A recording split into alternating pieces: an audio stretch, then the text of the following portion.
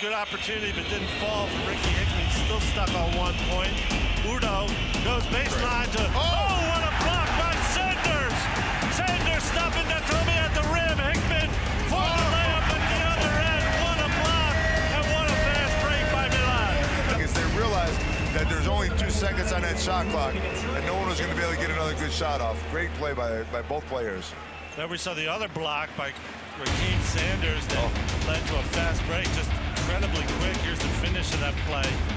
He came down with the ball, and at the other end made the assist to Ricky Hickman.